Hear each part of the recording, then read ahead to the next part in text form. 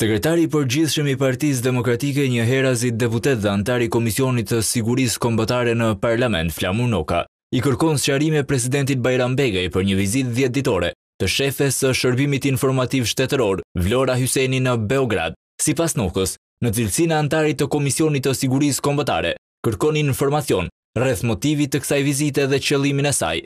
Duke qenë se Shqipëria është një vend anëtar i NATO-s, vizita e kryetares së SHISH të një vendi anëtar tek një vend jo partner dhe jo anëtar i NATO-s ka krijuar shqetësim madhor. Kjo për arsye se SHISH përfaqëson një institucion kryesor të sigurisë kombëtare. Gjithashtu kjo vizitë rrit misterin dhe ngre shumë pikëpyetje pasi po zhvillohet në një moment shumë të komplikuar dhe delikat për Kosovën, ku presidenti serb Vuçiç po provokon duke trazuar situatën dhe paqen në Kosovë dhe duke rrezikuar stabilitetin në rajon. Më tej Noka ka dhe disa pyetje për presidentin, teksa i jep vetëm pesë ditë kohë për përgjigje.